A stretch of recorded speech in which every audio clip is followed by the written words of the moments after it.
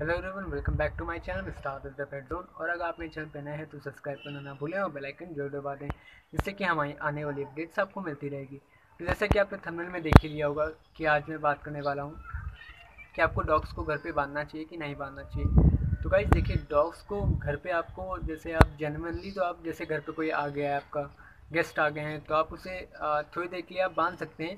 But ये नहीं कि आप घर पे उसे ट्वेंटी फोर आवर्स आप उसे बांधे हुए हैं, ऐसा आपको बिल्कुल भी नहीं करना क्योंकि इससे डॉग अग्रेसिव हो जाते हैं और आपका जो है, जैसे कि आपको डॉग्स को भी आपके साथ घुलने मिलने में बहुत अच्छा लगता है तो उनके साथ आप ज़्यादा से ज़्यादा डॉग के साथ आप खेलिए अपने और उन्हें बाँध के कम रखिए, क्योंकि इससे आपके डॉग्स अग्रेसिव हो सकते हैं और ज़्यादा से ज़्यादा उन्हें वॉक कराइए, घुमाइए, टहलाइए, उनके साथ खेलिए जितना टाइम आप डॉग के साथ स्पेंड करेंगे, उतना ही डॉग्स के लिए काफ़ी अच्छा रहेगा। तो अपने डॉग के साथ टाइम स्पेंड करिए ताकि वो आपके साथ घुला मिला रहे और आपसे एक अच्छी बॉन्डिंग हो जाए। तो कहीं ना कहीं आप उसे बाँध के बिल्कुल भी ना रखें।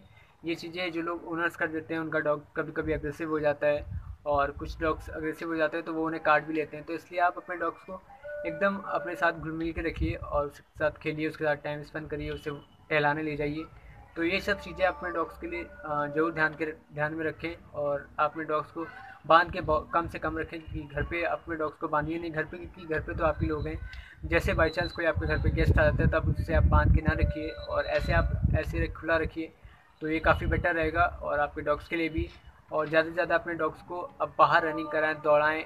दिन में आप जैसे दो बार रनिंग कराएँ, उसे जैसे सुबह मॉर्निंग में करा लीजिए और अब उसे शाम को इवनिंग में करा लीजिए। तो इससे क्या होता है, हमारे डॉग्स जो है काफ़ी अच्छा हो जाता है और हमारे डॉग्स की जो बिहेवियर है वो भी काफ़ी बेटर रहता है।